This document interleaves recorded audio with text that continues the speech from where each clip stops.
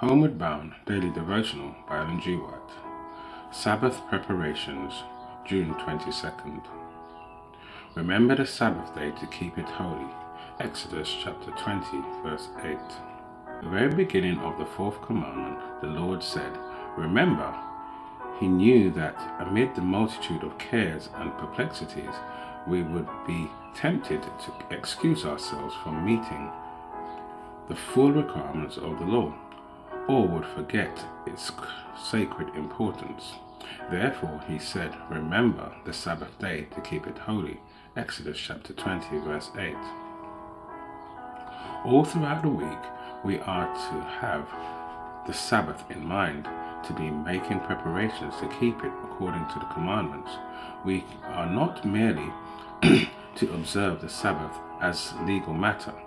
We are to under understand its spiritual bearing upon all the transactions of life.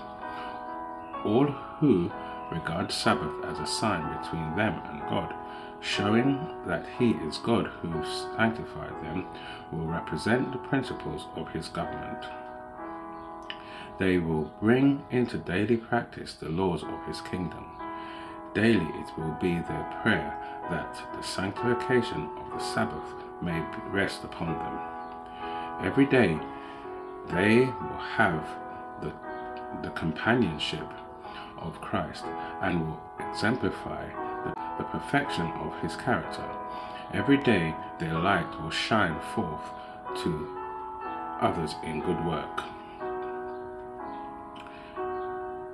In all the in all that pertains to the success of God's work, the very first victories are to be won in the home life. Here, the preparation of the Sabbath must begin.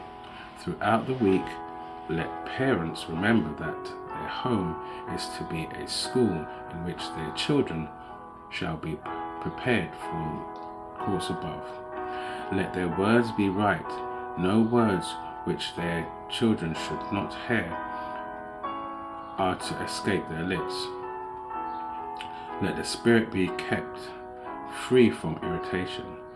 Parents during the week live as in the sight of the Holy God, who has given you children to train for Him. Train for Him the little church in your home, that on the Sabbath all may be prepared to worship in the Lord's sanctuary. Each morning and evening present your children to God as his blood bought heritage. Teach them that it is their highest duty and privilege to love and serve God. When the Sabbath is thus remembered, the temporal will not be allowed to encroach upon the spiritual.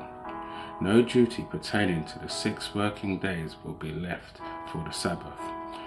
During the week, our energies will not be so exhausted in temporal labor that on the day when the Lord rested and was refreshed, we shall be too weary to engage in his service.